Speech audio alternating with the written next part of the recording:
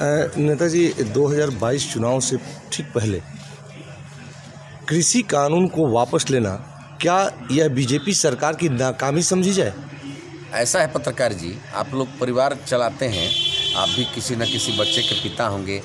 मान लीजिए कहीं कहीं ऐसा होता है कि बच्चे न, नहीं समझ पाते ना समझ होते हैं। और कहते हैं कि नहीं हम यही लेंगे हम यही करेंगे।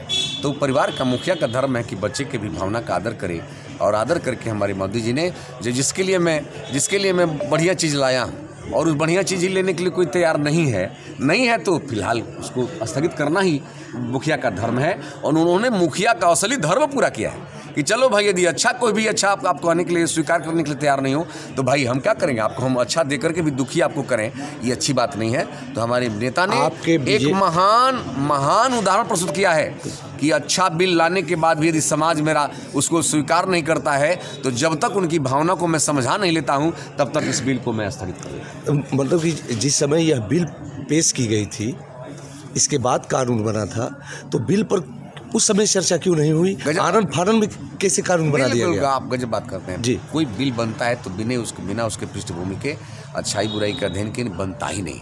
सब कुछ अच्छा करने के बाद भी जिसके लिए हम बना रहे हैं वही तो मैं पूछ रहा हूँ कि यदि कि आप स्वयं होते कुछ घर में मान लीजिए एक ही चीज़ है कि आदमी को सब आदमी को प्रिय नहीं होती है। होती है? नहीं होती। लेकिन कोई मुखिया का धर्म अपना जो पूरा किया लेकिन सबके लिए प्रिय नहीं है सबके लिए अच्छा नहीं लग रहा है उन्होंने वापस ले लिया। तो ये परिवार के मुखिया का असली धर्म यदि किसी ने पूरा किया है तो हमारे नेता मोदी जी ने किया है। कोई नेता करता नहीं। तो फिर उस समय आप लोग क्यों ऐसा कर रहे थे कि ये सब अ, आंदोलनजीवी हैं ये खालिस्तानी हैं ये विदेशी हैं ये किसान नहीं है? तो फिर किसान के कहने पर वापस किए हैं या उन आ- आंदोलनजीवियों के कहने पर? आंदोलन जीवों कहने पर नहीं। जहाँ पर जहाँ पर एक वर्षों से किसान बैठे ही रह गए। तो हम अपने अज्ञानी किसान भाइयों के जिद पर हमारे नेता ने